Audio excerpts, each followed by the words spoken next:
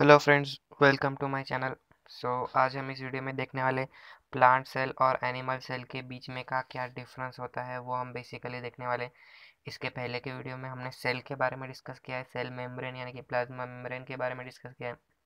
तो बेसिकली ये जो डिफरेंस हुआ है प्लांट और एनिमल सेल का, वो किस बेसिस पे हुआ है? हमने अपने पहले लेक्चर में डिस्कस किया था कि सेल जो है वो स्ट्रक्चरल एंड फंक्शनल यूनिट है लाइफ का। यानी कि जिसका अलग फ़ंक्शन होगा, उसका सेल भी अलग होगा। तो प्लांट और एनिमल सेल के बीच में तो अलग अलग है क्योंकि उनके फ़ंक्शंस अलग है।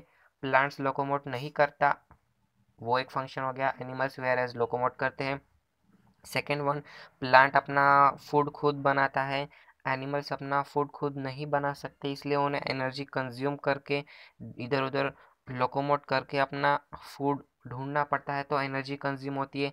तो इस बेसिस पे भी उनके सेल का स्ट्रक्चर डिफरेंट हो सकता है, क्योंकि उनका माइटोकॉन्ड्रिया भी, मे भी डिफरेंट हो सकता है। तो इन कुछ चीज़ों के ऊपर ये जो है, वो सेल्स डिफ्रेंशिएट किए गए। तो अब देखेंगे हम इनके डिफरेंस क्या है। Plant cell has definite a shape. Plant cell को क्या है? डेफिनेट शेप है whereas animal cell do not have definite shape plant cell को डेफिनेट शेप किसके वजह से है? किसके वजह से सेल वॉल की वजह से। प्लांट सेल में क्या प्रेजेंस है? सेल वॉल, ये देखिए, दो सेल दिए हुए यहाँ पे।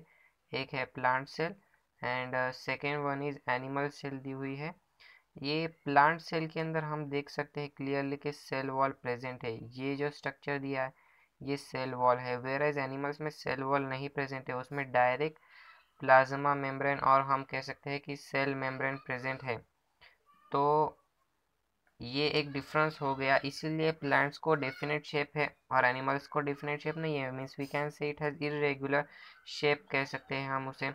बाद में plant has larger vacuoles plant में क्या है? वॉक्यूल्स की जो साइज़ है वो बहुत बड़ी है। बाद में एनिमल सेल में स्मॉलर वॉक्यूल्स है। हम देखें, फिर से डायग्राम देखेंगे। इसमें हम देख सकते हैं कि 90 परसेंट जो सेल है वो वॉक्यूल से कवर है। प्लांट्स में वेर एज एनिमल्स में छोटा है। हमने पहले वीडियो में जिसमें मैंने सेल के बारे में बताया था, उसमें मैंने बोला था 90 परसेंट ऑफ़ सेल जो है वो वॉक्यूल से कवर अप होता है प्लांट का। बाद में प्लांट में क्लोरोप्लास्ट है, जैसे कि हमने पहले ही फ़ंक्शन डिफाइन किए थे कि वो फ़ूड बना सकता है, क्योंकि उसमें क्लोरोप्लास्ट प्रेजेंट है। क्लोरोप्लास्ट के अंदर डिफरेंट टाइप के पिगमेंट होते हैं, जो कि फोटोसिंथेटिक प्रोसेस में यूज़ होते हैं, जिससे कि खाना बनता है।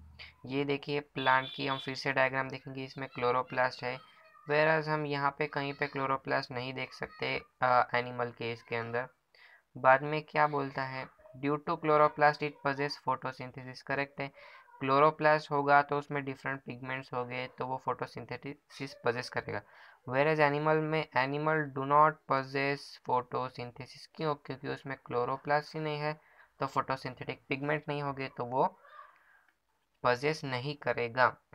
तो ये तो हो गई डिफरेंस उन दोनों के बीच में अब सिमिलैरिटीज़ क्या है?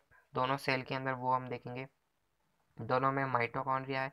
माइटोकॉन्ड्रिया जो है वो एनर्जी प्रोवाइड करता है। In the form of ATP वो एनर्जी बनाता है और दोनों सेल्स को प्रोवाइड करता है। उसके ऊपर से मैं अलग से लेक्चर बनाऊँगा अगला। वॉकिल्स को हमने डिस्कस कर चुके हैं। एंडोप्लाज्मिक रेटिकुलम इसके बारे में भी नेक्स्ट वीडियो में बनाऊँगा और हमने पहले वीडियो में भी उसको डिस्कस किया है। न्यूक्लियस बहुत इंटरेस्टिंग सेल ऑर्गेनल्स है, क्योंकि ये जो है वो जेनेटिक हमारा डिसाइड करेगा, उसमें क्रोमोजोम्स होते हैं डीएनए होते हैं आरएनए होते हैं न्यूक्लिक मटेरियल होती है, जो कि हमारे जेनेटिक्स को डिसाइड करेगा। तो बहुत इंटरेस्टिंग वीडियो बनेगा, वो गोल्जी बॉडीज़ होते हैं, सबके मैं फ़ंक्शंस बताऊँगा। सेल मेम्ब्रेन, जिसको हमने डिस्कस किया है पिछले वीडियो में, जिसे प्लाज्मा मेम्ब्रेन भी हम कह सकते हैं, देन लाइसोजोम्स हैं और राइबोजोम्स हैं। तो ये थे कुछ डिफरेंस एंड कुछ सिमिलैरिटीज़ इन दो सेल्स के बारे में। होप्स आपको वीडियो पसंद आया होगा। तो चैनल को लाइक करें शेयर करें सब्सक्राइब करें for more videos thank you